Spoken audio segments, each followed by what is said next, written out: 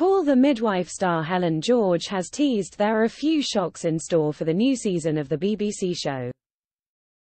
The long-running period drama is set to return to screens at the end of the year in a Christmas special before Series 13 starts in the new year.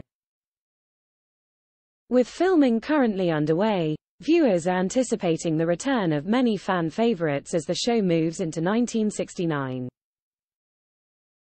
However, it appears as though there are going to be some unexpected twists along the way as actress Helen, who plays Trixie Franklin on the show, revealed. On Wednesday morning, the actress appeared on Zoe Ball's BBC Radio 2 show to speak more about Series 13 of Call the Midwife. When asked what she can share about the new episodes, Helen replied, We're filming at the moment. So I'm sort of discovering the stories as we go along. It's another exciting year, lots of babies. I can't tell you much more than that, there's a few shocks. Although Helen appeared tight-lipped about the new storylines, there have been reports her character's new husband Matthew Aylward, played by Olly Rix, is leaving the show.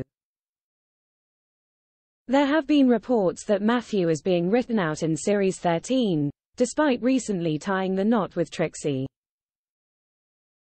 Speaking to The Sun, a source said, the news of Olly's departure has left the cast and crew stunned and upset.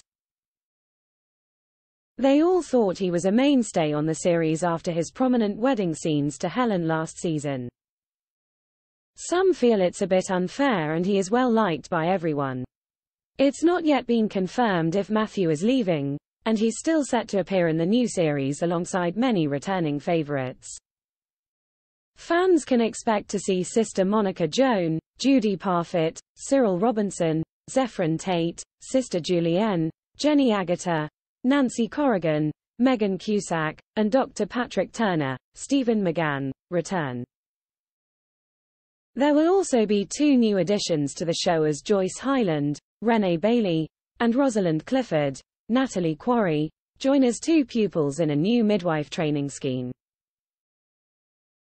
Speaking about the series, show creator Heidi Thomas said, after Trixie's spectacular wedding, the Nonnatus House community feels more tightly knit than ever, but life in Poplar has never been a fairy tale. As 1969 unfolds we will see change and challenge rock the world of our beloved nuns, nurses, medics, and midwives. Quote,